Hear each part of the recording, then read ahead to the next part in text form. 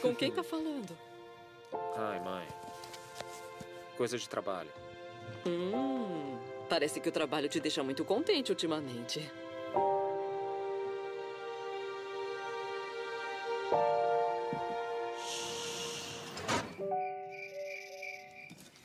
Uh, tava uma delícia. Obrigado. Galera, tô com um pressentimento muito ruim. Por quê?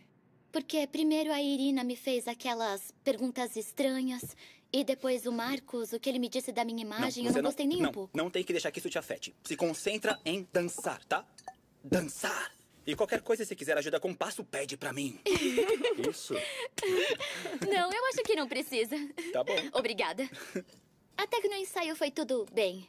Bom, a não ser pela Chloe. Por quê? Ela também disse alguma coisa que você não gostou? Não, não, mas ela é muito obsessiva e me deixa mais nervosa. Hoje repetiu 20 vezes o mesmo salto porque tinha dobrado o dedo mindinho da mão quando tava no ar. Só um dedo? Não, que horror. Você não pode dizer nada, você é igual. Vê um garfo fora do lugar como da outra vez e já dá um chilique, né? É, eu me lembro. Amiga, queria aproveitar para te pedir desculpas por causa de hoje. Por eu não querer sair na câmera quando chegou o pessoal da Fast Ritmo. É que essas coisas me dão muita vergonha. Ah, mas não precisa se preocupar. Eu que devia pedir desculpa. Eu devia ter percebido antes. O que quer dizer? Ter percebido antes?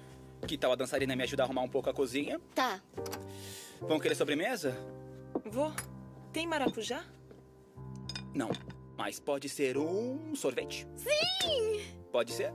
Sim. Vem comigo comprar então. Tá. E maracujá. Tá, já voltamos.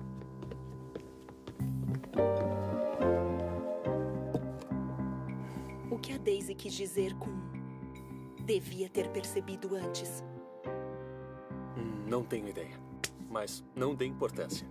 Às vezes nem a Daisy sabe o que diz. Hum. É o Victor?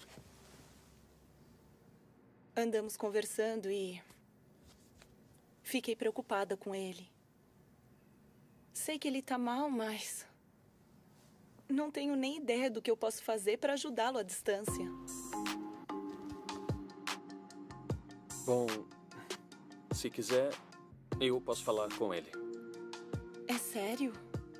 É? É sério que você faria isso, Tiago? É? Claro que sim. Muito obrigada. Você é um grande amigo de verdade.